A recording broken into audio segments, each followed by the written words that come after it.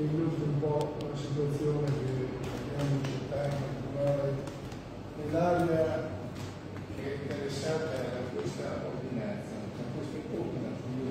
Sì, allora eh, queste ordinanze nascono eh, sulla base di un'analisi eh, molto attenta che eh, il Comitato per l'Ordine e la Sicurezza Pubblica ha fatto eh, del, della situazione nel quartiere.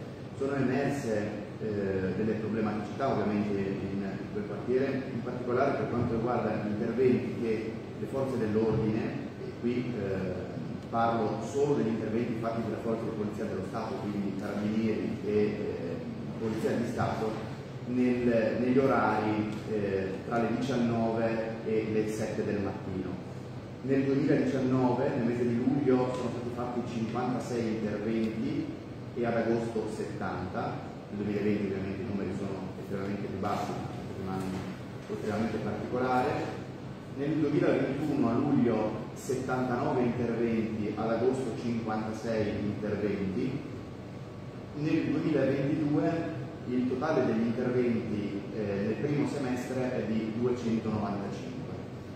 E spesso, anzi direi nella, nella grande maggioranza dei casi, questi interventi sono interventi per problematiche che riguardano disturbo alla quiete pubblica, persone moleste, ubriachezza, quindi eh, non per eh, problematiche riguardanti eh, l'ordine e la sicurezza pubblica, ma per quanto riguarda appunto situazioni di disturbo, di degrado che eh, correttamente vengono eh, denunciate dai residenti e eh, sulla base del, dei quali intendiamo appunto adottare eh, queste due ordinanze.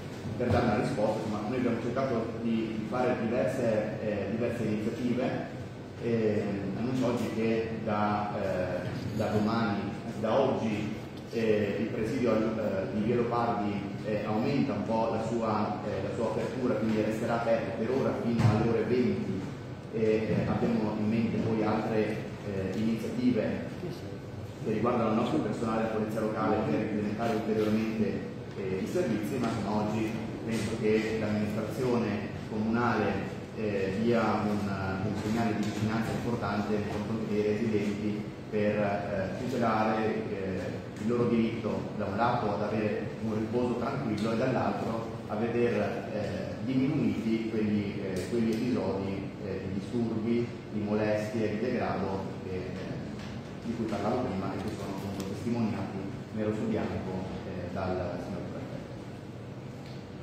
Allora, questa è la situazione che stiamo vivendo, le ordinanze riguardano la prima, la, gli orari dell'esercizio di somministrazione di alimenti e bevande e l'altra invece riguarda il divieto di bevande alcoliche refrigerate da parte degli esercizi commerciali perché siamo arrivati a questa decisione che tra l'altro avevamo già eh, preso nel passato perché abbiamo verificare una continua presenza di avventori volti ad approvvigionarsi e a consumare le bevande alcoliche e alimenti per poi trattenersi al di fuori dei locali fino a tarda ora, creando disturbo alla quiete pubblica.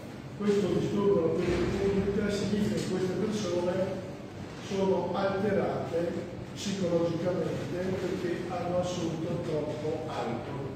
Quindi significa che non sono più responsabili di quello che fanno e quindi per evitare queste situazioni, che purtroppo non sono rare ma ogni giorno si presentano, abbiamo deciso di mettere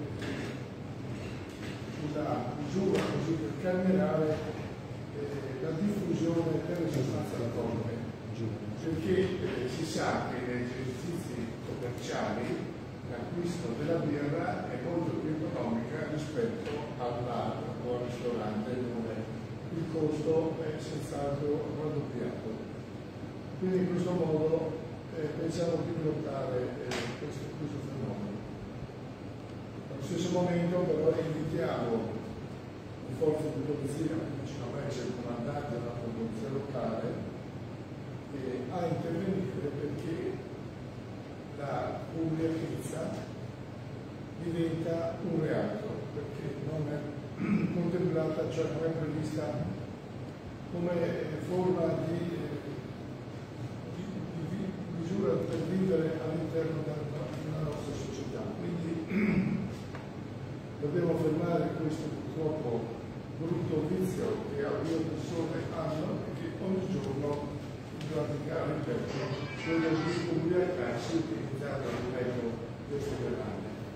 La zona interessata da questo provvedimento è via Tullio, Piazzale d'Italia, Piazza della Repubblica, via Leopardi, via Benedetto Croce, via della Costa, via Europa, via Europa Unita, via delle Feriere, via Delubens, via Porto Diego, via Caterina Percotto, via Romeo Battisti e via Roma, che è un po' il cuore di, questa, di questo luogo, tra l'altro anche il quartiere delle Magnolie, su cui sapete da quando io sono diventato sindaco cerco di ripristinare una convivenza civile all'interno di, di questo territorio. Risultati ne abbiamo già ottenuti, cioè sono stati riconosciuti dagli stessi abitanti e degli stessi esercenti attività commerciali, però è necessario continuare con queste ordinanze che sono efficaci per contenere purtroppo questi fenomeni, fenomeni dell'ubriachezza e del disturbo notturno perché queste persone poi eh, stanno lì tutta la notte, gridano e si comportano interamente in maniera consona a quella che la quiete, la quiete pubblica soprattutto per mettere a chi dorme di avere un riposo giusto e completo. L'ordinanza ha due tipologie di orari, domenica, venerdì, martedì, mercoledì e giovedì dalle 6 alle 23, venerdì e sabato dalle 6 alle 24.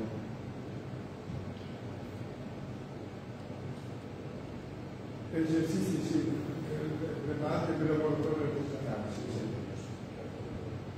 Sì, per gli esercizi invece di vicinato del settore alimentare misto tutti i giorni dalle 6 alle 21.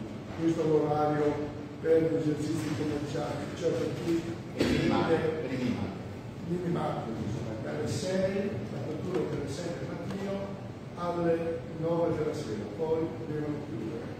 Qui ci sono alcuni minimati che vengono aperti fino alle 11 mezzanotte e questo, questo porta al consumo di questo tipo. Come sempre, di fronte a questa ordinanza si può fare ricorso al Tribunale amministrativo regionale se si ritiene che sia lesivo dei diritti dell'attività commerciale, ma come è già stato fatto per altre volte non abbiamo avuto nessun ricorso nei confronti di questa ordinanza.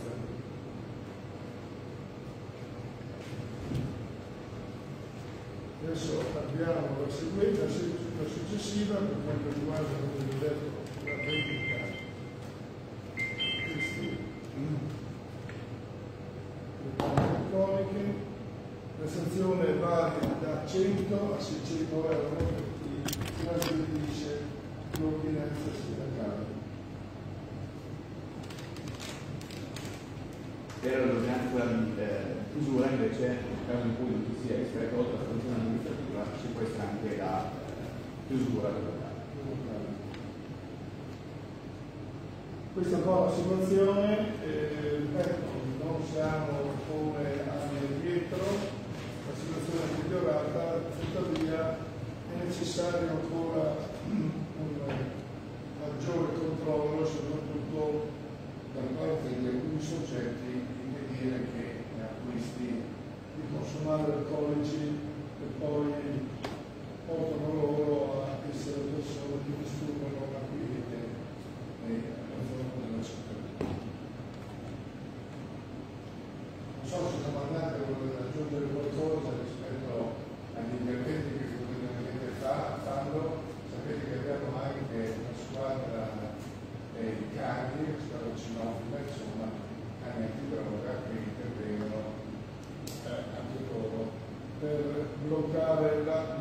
Lord.